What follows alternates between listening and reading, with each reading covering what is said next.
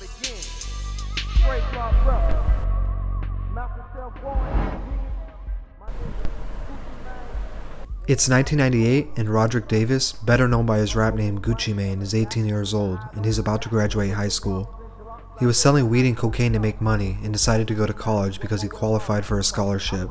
He continued to make money and sometimes would record songs to mess around in the studio, mostly as a hobby. After going to college for about a year doing computer programming, he would get caught selling cocaine to an undercover police officer. He was given 90 days and probation. He lost a lot of his money and was kicked out of school, losing his scholarship. He had some time to think about if this is what he wanted to do or something else. Upon finishing his sentence, Gucci decided he should just release a mixtape since he was already getting good at it and he's been rapping since he was 14. He used the little money he had left to finish the tape titled Gucci Mane La Flare, presented by Straight Drop Records. He slapped them on a thousand CDs and passed them all over Atlanta. This would work out extremely well for Gucci because he started to gain a buzz pretty fast. He saw an opportunity and decided he wanted to start his own label, where he would recruit other artists as well. Around 2001, he met a barber named Xavier because one of Gucci's homies attended the same barber class. Xavier made beats and was trying to make a name for himself as well, under the name Zaytoven.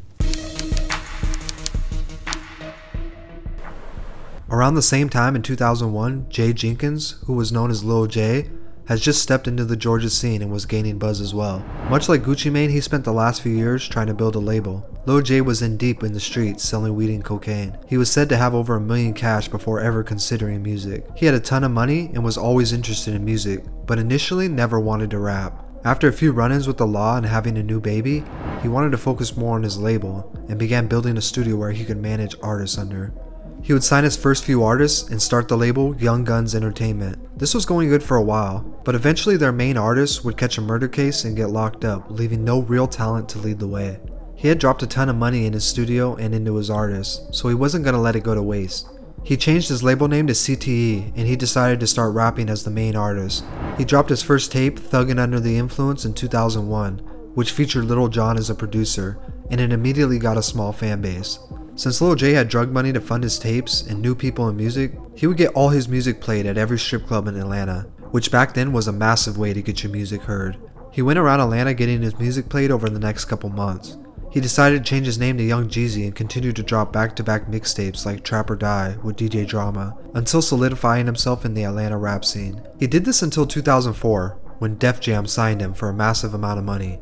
With Gucci Mane and Jeezy leading the way in Atlanta rap, it was only inevitable that a collab would come soon. In 2005, Gucci Mane and Jeezy would record two songs together. The first song was Black Tees, which was a response to Dem Franchize Boyz' hit song White Tee, and the second song was So Icy, or just Icy. So Icy would go crazy in the streets almost immediately, and would then be featured as the main single on Trap House 1. The song was such a massive hit that even high schools across the country banned the iconic snowman tee that Jeezy wore in the video. But as time went on, rumors surfaced that Jeezy may have been upset with how things went. Although it's still not 100% clear why Jeezy was upset, we can assume it has something to do with the fact that he wanted the song to be on his upcoming album. He quickly took to the studio to release a diss track titled Stay Strapped, where at the end of the song he would put a $10,000 bounty on Gucci's So Icy chain.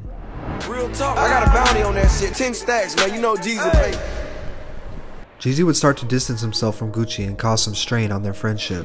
Gucci would also get upset at the fact they could never perform their song live, which he felt they were missing out on a huge part of promotion. Because once again, this is in the days where live shows made a huge impact on getting your music heard. But Jeezy didn't stop and he continued the beef. Over the coming weeks, the petty beef would turn into something much more. One summer evening, Gucci would go home with a stripper after a party, just a month after the So Icy hit dropped. Five men stormed the home where Gucci was staying, armed with pistols, brass knuckles, and duct tape. They would get into a physical altercation, pistol whipping the stripper and hitting Gucci in the face. One of the men allegedly yelled, Shoot him! Upon realizing his life was at risk, Gucci shot back. Some people say he reached for his gun, where other stories say he may have disarmed one of the men and took his. He shot the gun, killing one of the men, as the others ran off. Three days would go by until someone found the body of the deceased man in the woods behind an elementary school. When the smoke cleared, authorities identified the man as Pookie Loc, one of Jeezy's prodigies under his CTE label. After nine days, Gucci Mane would turn himself in, claiming self-defense. He released a statement saying, he's not a murderer, but he was scared for his life, and he had to be a man about it.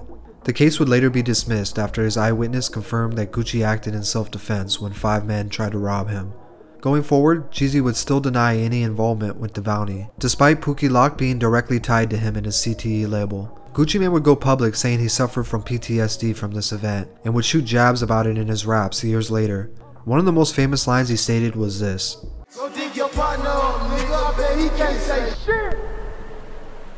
The two would continue this feud for over 15 years until November 19, 2020, where they were put in the same room as each other.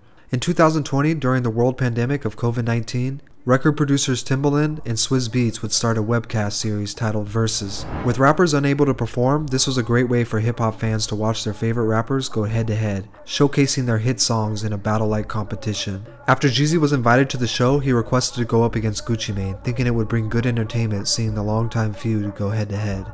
After the show got closer, shots were already being fired, mostly from Gucci's end. Days leading up to the show, Gucci would post memes on his Instagram about Pookie Loc, as well as insulting Jeezy's outfit that he wore for his upcoming album. As the show went on, it would gain over 1.8 million viewers on Instagram alone. It started out slow, but things would inevitably heat up as the rappers played hit songs as well as some of their old diss records. By the end of the show, they would make history when they performed their hit song So Icy together for the first time in 15 years. After the song was performed, the two would have a brief but wholesome exchange of words. It led many viewers to believe this was the end of their long lasting beef. Since the show, Jeezy has spoken out saying he feels better, hoping they can put this all behind them. Since then, rumors have come out online about a possible collab album coming soon. Thank you for watching. If you enjoyed this content, consider liking and subscribing for more.